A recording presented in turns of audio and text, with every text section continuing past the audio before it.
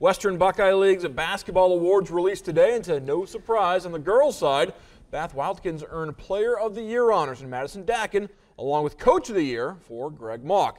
Alyssa Manley joins Dakin on the first team, while the other three Wildcat starters also recognized. Bath putting the laurels aside tonight in the district semifinals in Paulding as they seek to sweep Defiance. Bulldogs freshman Emily Poling also on the first team All WBL squad pick up the highlights from the first quarter in this one. And Dakin getting things started hits the three-pointer on the wing for the Wildkittens. Defiance response from outside. Gabby Lamb eyes it, flies it. Three is good as Poling picks up the assist.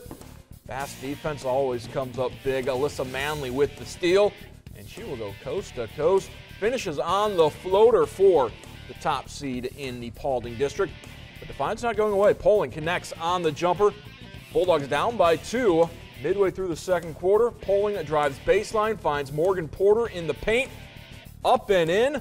Wildkittens up by three, and they go on to win 47 32. Dakin 18 points. Bree Smith finishing with 10, as Emily Poling 10 points for Defiance. Not enough as the Wildkittens are moving on.